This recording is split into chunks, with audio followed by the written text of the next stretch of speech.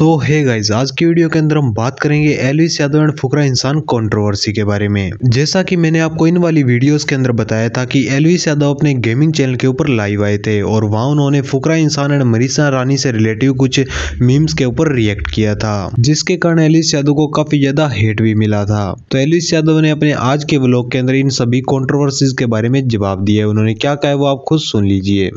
भाई पिछली बार ही ना बहुत सारे लोग बोल रहे थे कि इसने ये वाले मीम खोले। भाई मेरे को ना ये चीज़ समझ नहीं आती। मैं बड़ा परे हूँ लाइव चीज़ों से। डिस्कॉर्ड मुझे पता नहीं था मैं कभी था।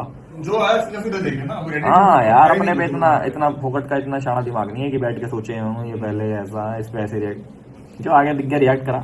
अच्छा लगा अच्छा बुरा लगा बोल दिया। भाई सारे मॉड्स की ज़रूरत है थोड़े बहुत। मोड्स का होता? मॉडरेट करेंगे तो भेजते हैं ना कचरा। हाँ, कचरा। हाँ कचरा ही था वैसे। Don't disrespect anybody don't abuse anybody हमें कर लो इट्स ओके और वो नहीं, क्योंकि फिर उनके चक्कर में ना हमारे ऊपर चीज़ें आती हैं कि आपने ऐसा करा। सो so गाइज़ आज की वीडियो में इतने अगर आपको वीडियो पसंद आई तो इसे लाइक और हमारे चैनल को सब्सक्राइब ज़रूर कीजिएगा।